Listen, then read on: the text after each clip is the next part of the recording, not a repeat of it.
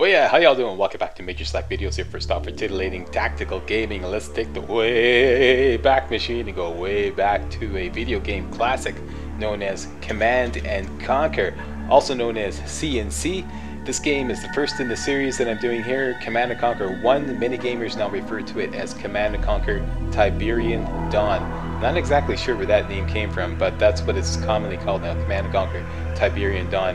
A sequel came out after it called uh, Command & Conquer Red Alert, and then another uh, third one came out after that called Tiberian Sun, and then um, at that point Command & Conquer was taken over uh, by Electronic Arts, and many gamers, including myself, felt that the series declined since then declined dramatically. Okay, so it's basically the first three games: um, Tiberian Dawn, Red Alert, and Tiberian Sun, which represent the video gaming classic era of Command and Conquer. Uh, basically, it's a real-time strategy uh, game developed by Westwood Studios, originally developed by Westwood Studios, first released 18 billion years ago back in the Neolithic era of gaming. uh, no, it was released as a DOS game for the PC. What's a DOS game, Slack? You don't know what DOS is? Look it up on uh, Wikipedia there, Junior. That's uh, I guess that's before your time. Yeah, disk operating system for the personal computer. Yeah, uh, look it up.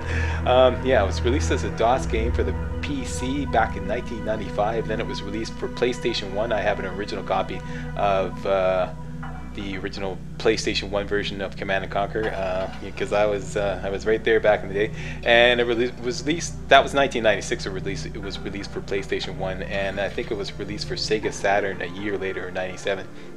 And um, basically, Command and Conquer took the video gaming world by storm. Um, it was hugely popular back in the day. I remember when I first saw this being played at my local video game store, the decision to buy it took about 0.00001 seconds. Okay, I took one look at this. I saw a guy. He was uh, operating a flame tank, and I said, "What's that?" And he said, "Command and Conquer." I said, "I'll buy it." I, it, it was like it was so impressive. Okay, back then.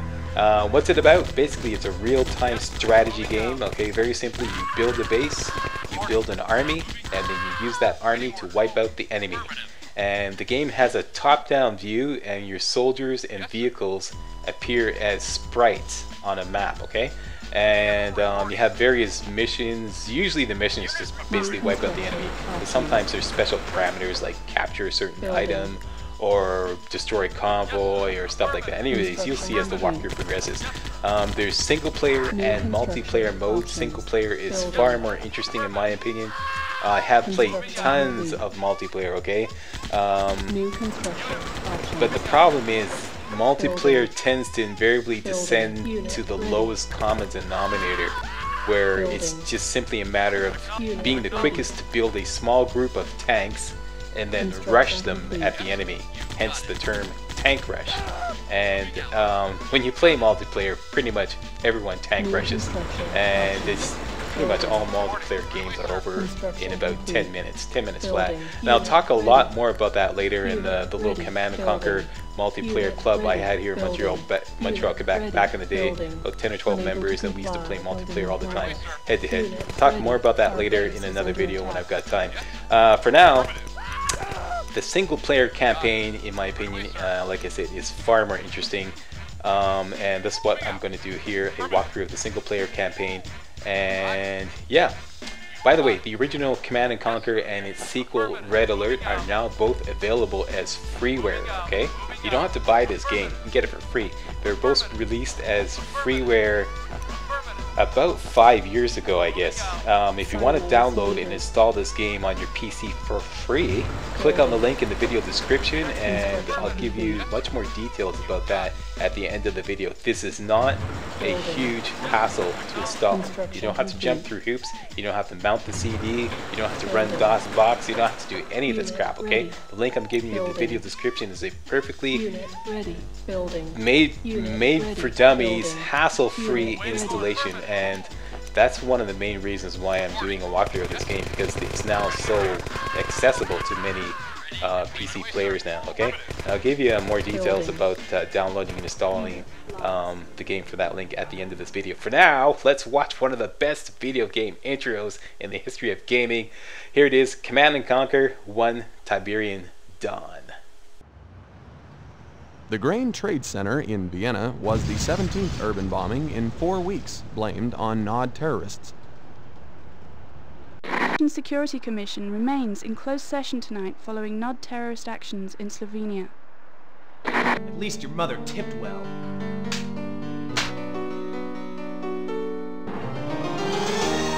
Harsh, unforgiving wilderness.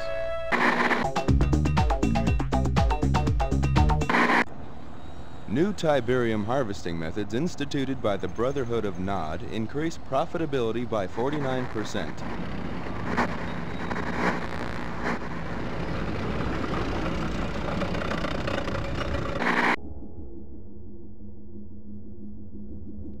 Nod Tiberium holdings now account for almost half of the world's known supply, giving the quasi-terrorist group incredible leverage in the London Gold Exchange. On the domestic side,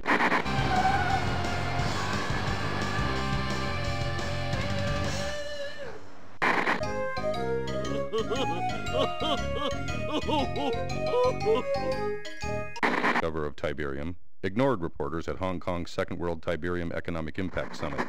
Mobius is expected to refute charges from the scientific community that Tiberium might be dangerous. بني مع اللون الأصفر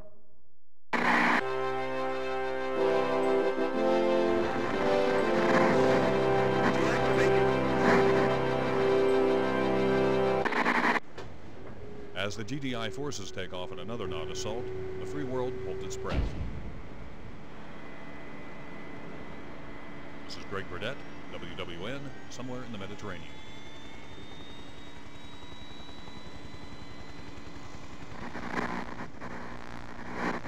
Are you picking this up?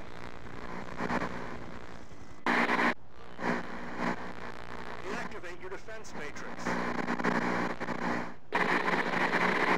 Alright, let's jump right into the game. In the first mission, you get a choice of playing either as the Global Defense Initiative, or GDI, or the Brotherhood of Nod. And that's when I'm going to play as first, the Brotherhood of Nod. Selected. And you always get a little briefing at the beginning of each mission from this guy. So, you're the new addition to the Brotherhood. Well, I'm Seth. Just Seth. From God to Kane to Seth. I am his right hand, and I have a task for you. This is Nikoomba, and he is causing the Brotherhood much grief. His views do not coincide with ours, and that makes him dangerous. Silence him. Okay, so there you go. And here's a view of the game. And we're just going to speed run through this mission and eliminate the Nikoomba as quickly as possible for demonstrational purposes. Alright, and I'm going to show you why uh, afterwards, okay? So basically you go up into the top left corner of the map, you find uh, this little guy dressed in white there. Kill him, he's Nikoomba. And mission accomplished. I guess that took about, what, half a minute? okay, now here's the, the part I want to call your attention to, the score screen, okay? You have leadership and efficiency, okay? And you can see my efficient, or leadership rather, is 89%. And there's a lot of confusion about what this means, alright? And I'm still not exactly positive what it means, but I know leadership has a lot to do with uh, casualties and how long it takes to do the mission. Yes, that is a factor. Time is a factor here. A lot of people saying, nope, time is not a factor. Not true, okay? I'm to demonstrate that uh, once and for all um, by doing a no casualty run. Here you can see I, I had three casualties, okay? Next I'm to do a no casualty run through the first mission. I'll show you that time is a factor, right? Efficiency is all about um, money, okay? How much money you start with and how much money you finish with. And uh, basically, if you have a lot more money at the end of the mission, then you'll get a higher score um, in your efficiency. All right, and together your leadership and efficiency give you a final score. And I'll tell you more about that in a minute. Back so soon? Hmm. Let's see how you do with something important. For too many years, GDI forces have maintained a stranglehold on Egypt. It's fallen upon us to liberate these citizens crying out for a better way of life. Kane wants to establish a base here to eliminate the smothering presence of GDI. It's too risky to move our heavy forces in, so we want you to sneak in with a few expendable troops and set up a forward attack post. Uh, by the way, there's more than enough Tiberium for you to harvest. That should easily pay your expenses. If you are detected, you fail. If you fail, you die. Okay, that's the briefing for the for mission 2, NOD mission 2. And we'll get to that next video. For now, we're going to jump back to mission 1. I'm going to do a no casualty run through mission 1 and show you the difference between leadership and efficiency scores at the end, okay? So this is the beginning of mission 2. Fade out and start mission 1 over again. And now I'm going to do a no casualty run, alright? Reinforcements have arrived. Now, why does it matter? Why do the scores matter? What happens is uh, the higher score you get, okay, the more money you start the following missions with. Okay, so it does make a difference. All right, if you if you can get a real high score, you start the following missions, production missions, with uh, more money. Okay, so in later missions when it gets a lot tougher, it actually makes a huge difference. Okay. Um, yeah, let's talk about that too. There are basically two kinds of missions in this game, production missions and non-production missions, alright? Production missions are when you actually get to build a base and build your, your army, and non-production missions are when you start out with a set number of troops like this here, okay? We started out with a set number of troops, and you have to complete the mission with just those troops and those units, alright? Um, yeah and I'll show you all about how to play Command & Conquer also in the next video in Mission 2 because it makes a lot more sense because Mission 2 is a production mission and uh, we'll have basically everything at our disposal. Well, a lot more at our disposal. We'll be able to build a base and uh, train infantry and build buildings, etc, etc. So basically here I've just created two teams. One team of infantry and one team of vehicles. See, there's the vehicles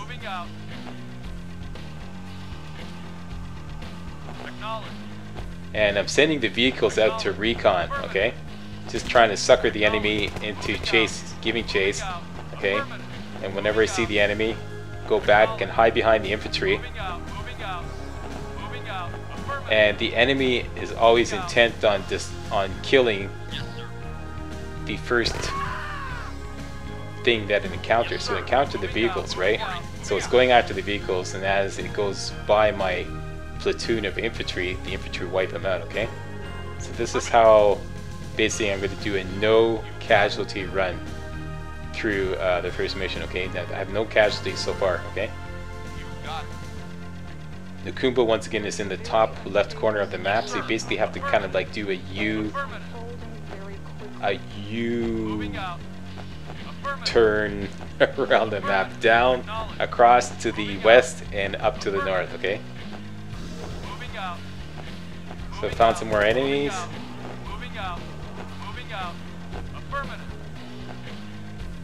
Draw them back to my infantry. They don't even bother trying to shoot my infantry because once again they're intent on trying to shoot my vehicles, okay? So a little bit of strategy here.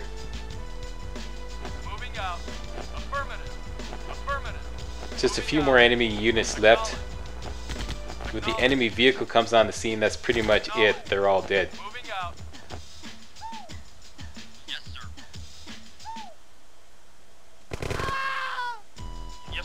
Now remember my leadership, okay?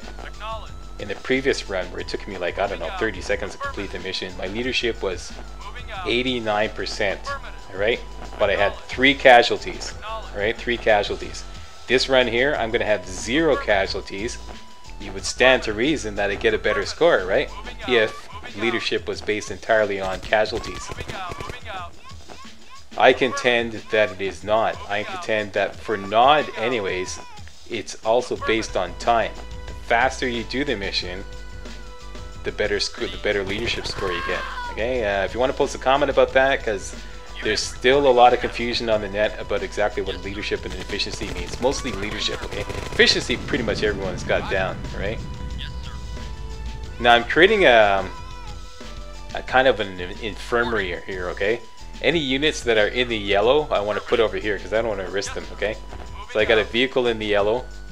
See, they got green health bars, and when they get part partly damaged, they go in the yellow, and they get when they get severely damaged, they go in the red. Okay, so these are my, you know, that's my infirmary, if you will. That's my field hospital. And all the enemy units are dead now. There's just a village. Some of the civilians in the village will take pot, shot, pot shots at you, but they're not really a threat at all. You can just go straight up to your objective. You can kill the villagers if you want. Actually, there's a mission later on where you have to kill the villagers. And now we find Nikoomba. Kill him. Mission accomplished. Took me a lot longer to do this mission, but I have zero casualties. But look at my leadership score. What's up with that? It's only 46%. So as you can see, leadership is not just how many units you lose. Alright? I believe it's also about time. Okay, so I've got a lower score there, and I actually got, yeah, I know, I got 198 one time. I actually went through, I did a zero casualty, and I managed to finish the first mission in less than three minutes. Just like a speed run. You can see there, 198, I got that. But I didn't record that, unfortunately.